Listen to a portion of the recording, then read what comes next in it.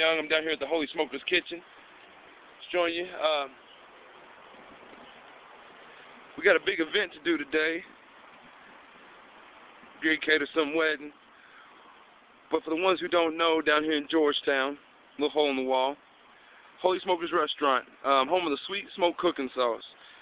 Opening days on Friday, 5:30 to 9, and on Saturdays, 11:30 to 5. My favorite place to eat. Big Dale Young, holla at you.